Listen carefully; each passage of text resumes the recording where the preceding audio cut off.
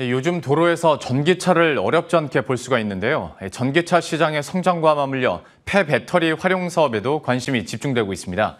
이 폐배터리 시장이 10년 안에 10배 이상 늘어날 것으로 관측되면서 이 정부의 적극적인 지원 속에 기업들도 앞다퉈 시장 진출을 준비하고 있습니다. 김주영 기자가 보도합니다.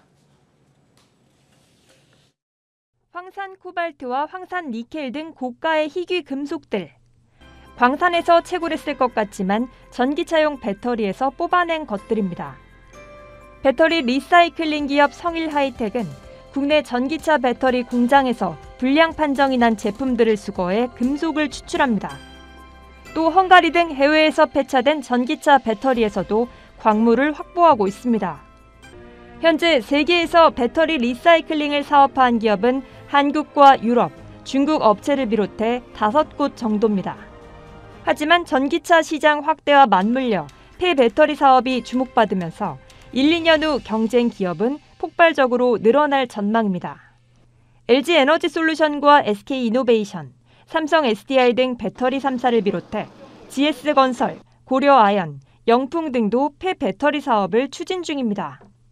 K배터리 3사뿐만 아니라 그거를 재활용하는 저희 같은 회사들이 모여서 그 같이 재활용을 하게 되면 자원 확보라든지 아니면 그 원천 기술 확보 측면에서 그 세계적으로 우위를 좀 차지할 수 있지 않을까라고 예상이 됩니다. 세계 폐 배터리 시장은 2019년 15억 달러에서 2030년 181억 달러로 10배 이상 늘어날 것으로 전망됩니다. 블루오션으로 떠오른 폐 배터리 시장을 활성화하기 위해 정부도 다양한 지원 정책을 준비하고 있습니다. 올해부터 폐 배터리를 지방자치단체에 반납하도록 하는 제도를 폐지해 민간에서 물량을 한층 쉽게 조달받을 수 있게 됐습니다.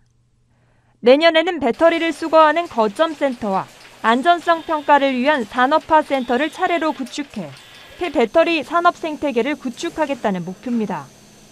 배터리 제조에 이어 리사이클링까지 한국이 세계 시장에서 주도권을 잡을 수 있을지 주목됩니다.